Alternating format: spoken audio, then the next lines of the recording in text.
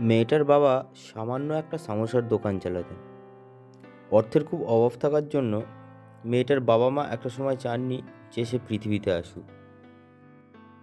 ছোটবেলায় পাড়ায় পাড়ায় ঘুরে মাত্র পঞ্চাশ টাকার বিনিময়ে পূজা পার্বণে গান করতো মেয়েটা সংসারে সাহায্য করার জন্য।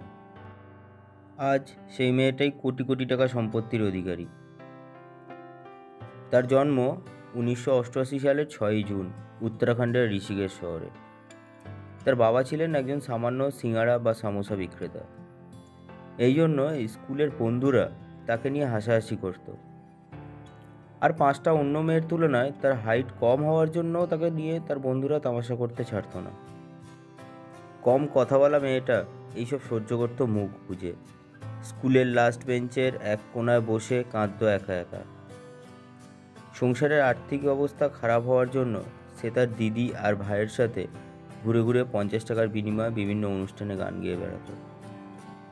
এরপর তারা সপরিবারে দিল্লি চলে আসে। একদিন এক স্কুলের বন্ধুর কাছে সে শোনে যে ইন্ডিয়ান আইডলের জন্য অডিশন হচ্ছে। তাই সে তার ভাইয়ের সঙ্গে দু সালে মুম্বাই আসে। কিন্তু তার গান বিচারকদের পছন্দ না হওয়ার জন্য মাত্র সেকেন্ড রাউন্ডেই তাকে বিদায় নিতে হয়। এরপর বিভিন্ন গানে কোরাস গেয়ে, বিভিন্ন বিজ্ঞাপনে গান গেয়ে সে অপেক্ষা করতে থাকে সুযোগের অবশেষে তার সেই সুযোগ আসে যখন দু হাজার বারো সালে সৈফ আলী খান, দীপিকা পাড়ুকোন অভিনীত ককটেল সিনেমার গান গাওয়ার জন্য তার ডাক পড়ে। এরপর আর তাকে ফিরে তাকাতে হয়নি। তার গাওয়া সেকেন্ড হ্যান্ড জওয়ানি গানটা সাড়া ফেলে দেয় পুরো ভারতবর্ষে। আর তখন থেকেই শুরু হয় এক রূপকথা।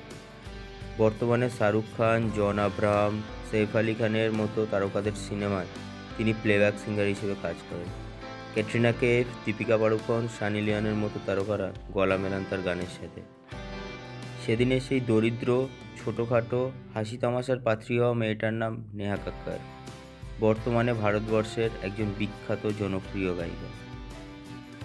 একটা সময় সারা সন্ধ্যা গান গেয়ে পঞ্চাশ টাকা উপার্জন করা নেহা আজ এক একটা গানের জন্য দশ থেকে পনেরো লাখ টাকা করে পারিশ্রমিক নেন তিনি প্রমাণ করে দিয়েছে যে সততা আর একাগ্রতা দিয়ে কীভাবে সাফল্যের শৃঙ্গে আরোহণ করতে হয়।